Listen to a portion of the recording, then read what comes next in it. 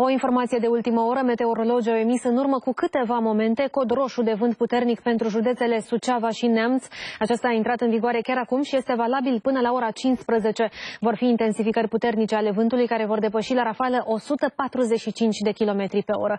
Mai mult, alte două coduri în vigoare. Primul este portocaliu și vizează zona înaltă a munților Apuseni, meridional și de curbură, iar la altitudini mai mari de 1700 de metri va fi viscol puternic, iar vântul va sufla cu până la 120 de km pe oră. Al doilea cod, cel galben, vizează mai multe județe din jumătatea de nord a țării, din centru și din câteva județe din sud. Acolo rafalele vor atinge chiar și 70 de km pe oră. Cele două avertizări sunt valabile până mâine seară. Tot până mâine seară este în vigoare și un cod portocaliu de ninsor și viscol, care afectează zona de munte a județelor Maramureș, Bistrița, Năsăuți și Suceava, iar până luni dimineață este în vigoare un alt cod galben de viscol în zona montană înaltă.